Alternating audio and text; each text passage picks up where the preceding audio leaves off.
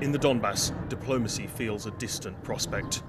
Russian forces are advancing towards the strategic city of Severodonetsk, trying to encircle the Ukrainian defenders.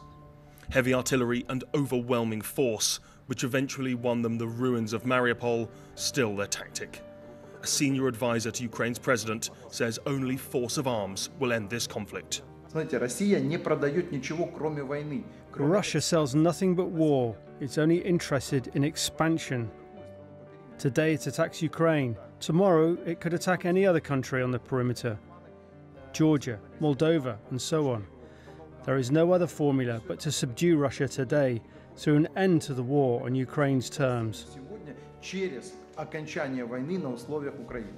But for the last few days at least, it is the Russians who've been getting their way. In the south of the country, the occupation administration there was keen to show off the hydropower dam they now control and water has played a role in the build up to this conflict. For eight years, the annexed Crimean Peninsula was denied an important supply of it. Russia's invasion has got it flowing again.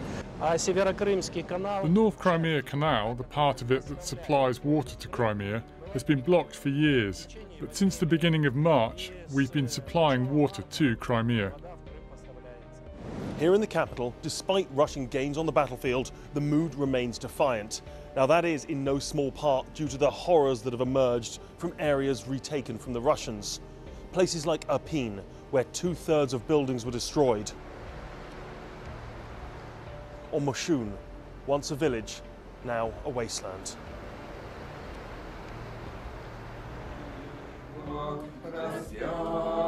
Back in the Donbass, even amid the horror, people seem to find a moment to reflect and maybe pray for a peace that seems as far away as ever. And in the last hour or so, we understand the Parliament here has approved a request by the President, by President Zelensky, to extend martial law for a further 90 days.